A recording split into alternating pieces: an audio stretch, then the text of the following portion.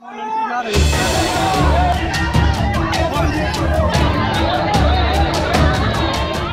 reason behind the horrific stampede were more than 22 people, while 30 are seriously injured still care.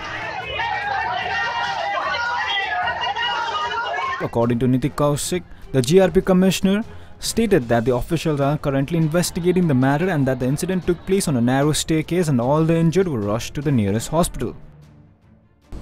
At around 9.30 at the railway station today, uh, there was an unfortunate incident where because of uh, exact reasons that we are still inquiring into, a minor stampede occurred here, uh, which happened on the narrow staircase and uh, FOB here. The exact reasons for the incident we are uh, inquiring into. The, all the injured were immediately rushed to the nearest hospitals. Immediate relief was provided. Their treatment is going on at the KEM hospital and other nearby hospitals. To the best of my information, 20 people are seriously injured. Rest have minor injuries.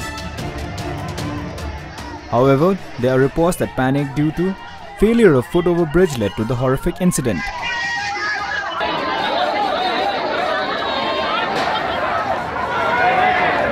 News Desk.